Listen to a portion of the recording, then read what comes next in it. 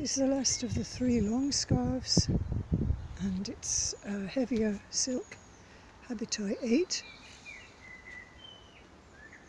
I think we have actually got a lull in the wind, which is why it's not flying about quite so much. You should be able to see the nice colours, and if the wind will pick up, you can see it. Go away from me, that's right.